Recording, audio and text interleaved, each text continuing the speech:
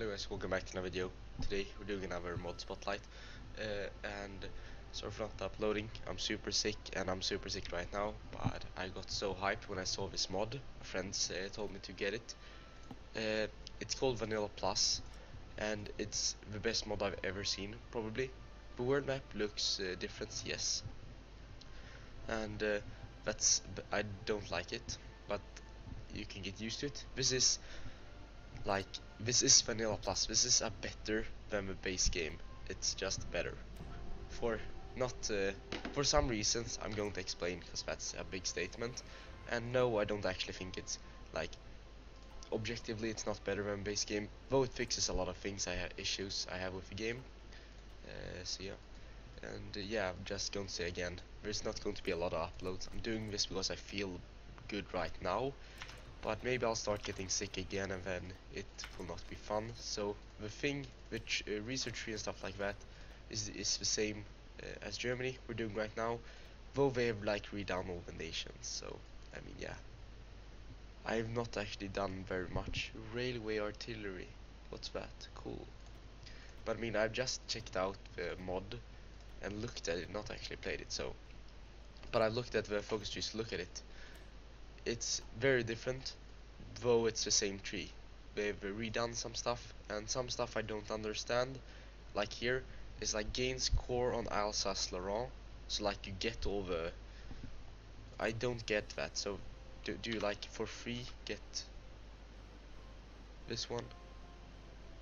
When you can like surpass the Maginot line I don't know. And yeah they've redone the stuff here and gave you different divisions and stuff so yeah I'll I'll try explain uh, and I'll show you stuff I like here. Is like this I don't know why Enigma isn't in the game. 20% more uh, encryption that's really good. Here you get some atomic research get some industry right out one they have like re they like put stuff on different places and this is nice yeah. Ooh, like that. So anti-communist impact you can impacting them. you can also ally with China though I don't see why we didn't do that with Japan. I think that's missed opportunity. This one is really cool. Uh, it gives you political power, SS divisions, and uh, and also other stuff they've done. They've added generals. This is bad. I think they have uh, made this very very weird. I I liked it before just because I was used to it. Maybe this is better but yeah, I like he's not. I can promote him, but that's not the same thing because then he loses stuff. he's quite good, really good actually. So yeah, uh, they've also redone the templates. I won't go into that. So we'll just play a bit. Though I'm sick, so I'm not going to play for very long. It's mostly I want to tell you guys to download it and try it because yeah, it's really really uh, good stuff. It fixes like here check here. It gives you minus 1 uh, recruitable population. That's very much needed uh, as a buff. This makes this one and we also buffed it to point, uh, 2.5 and that's what I've been asking for for so long that they buff total mobilization and nerf war economy. So now what people will do is they'll stay on partial until uh, they need to start uh, pumping out stuff and don't need the men so much and when war breaks out they will do this probably. We'll see, and then they can go back. And though they haven't done anything to this they should just they should buff uh, these two still uh, civilian and early. They should like give you factory output or something uh, I think. Yeah we should. Civilian economy should give you factory output. Or no early should. Civilian shouldn't. That would be a really really uh, appreciated buff for that one I would say. I'm starting playing a bit differently.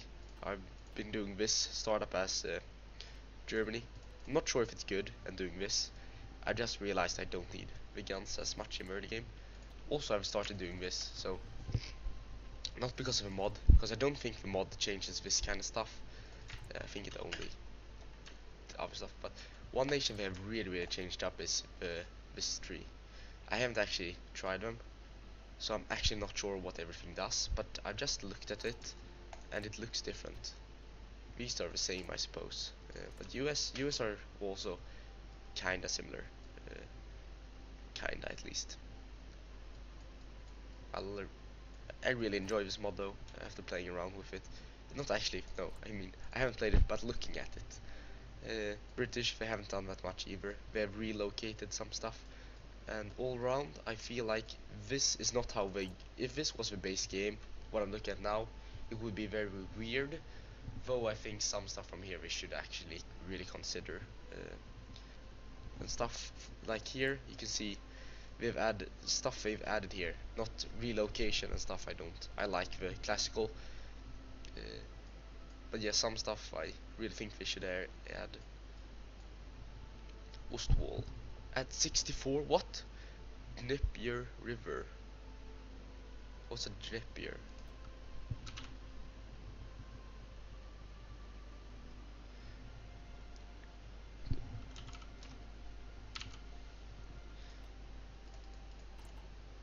No, that's wrong. I don't know where the Dnieper River is. Uh, so yeah. Oh. So I will not actually do this all game on camera. I just want to let you know, like, and I'm really really sick, so sorry for not making a long video. But yeah, check the link in description. I absolutely try this mod out. I love it so much. Uh, and yeah, I'll hopefully see you guys uh, when I get better.